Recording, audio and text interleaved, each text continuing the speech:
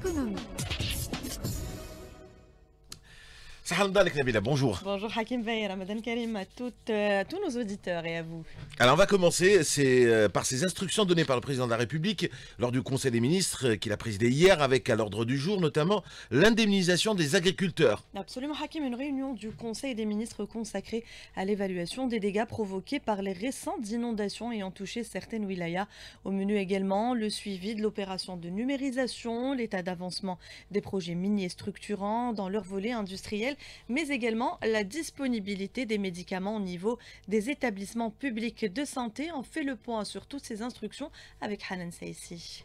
Des indemnités de 50 000 dinars seront versées au plus tard dans une semaine au profit des agriculteurs impactés par les récentes intempéries. Cette mesure de soutien décidée par le président lors de ce conseil des ministres intervient après l'évaluation des dégâts des inondations qui ont touché sept wilayas du pays. Autre mesure, cette fois en rapport avec la disponibilité des médicaments, ceux destinés aux cancéreux au niveau des structures hospitalières. En ce sens, le président ordonne la révision du mode de gestion de la PCH sa modernisation en instaurant notamment un système de veille capable d'éviter tout dysfonctionnement ou perturbation dans l'approvisionnement en matière de médicaments. Le Conseil des ministres qui s'est penché aussi sur les mesures d'accélération de la dynamique de réalisation des projets miniers structurants et l'évaluation du processus de numérisation qui enregistre un avancement considérable. Le communiqué de la présidence note en outre un Conseil des ministres qui sera bientôt consacré à l'étude de la situation des nouvelles villes afin d'apporter une nouvelle approche en ce sens.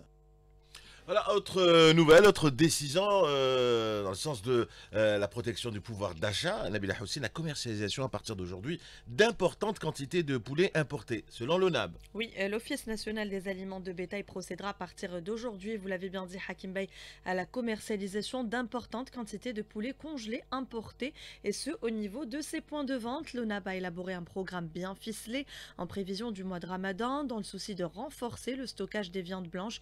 Ce programme prévoit en outre la mise en vente de 3000 tonnes de viande congelée importée à compter de ce lundi au niveau des points de vente de l'Office Hakim.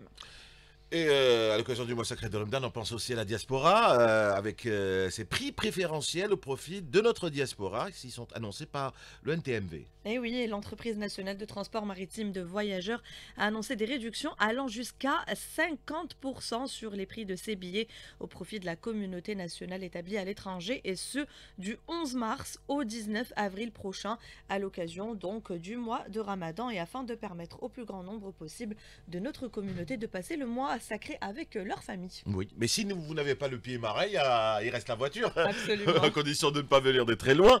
Euh, l'automobile avec cette bonne nouvelle pour les futurs acquéreurs de voitures Fiat Fiat qui ouvre les commandes et révèle les prix de la 500 hybride made in Algeria. Tout à fait, le constructeur automobile italien Fiat a annoncé l'ouverture des commandes pour la Fiat 500 hybride produite, je le rappelle, à l'usine de Tafaraoui à Oran. Les clients auront donc la possibilité de passer leurs commandes dès aujourd'hui. Ces commandes peuvent être effectuées en ligne via le site internet officiel de la marque ou directement auprès des concessionnaires Fiat présents dans plusieurs wilayas à travers le pays.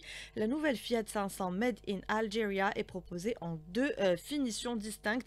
Il s'agit de la Fiat 500 hybride culte disponible à partir de 2 197 000 dinars et de la Fiat 500 hybride Dolce Vita affichée à partir de 2 359 000 dinars. C'est tout pour moi, Hakim Bey. On commence bien le mois sacré de Merci à tout à l'heure, Nabila aussi.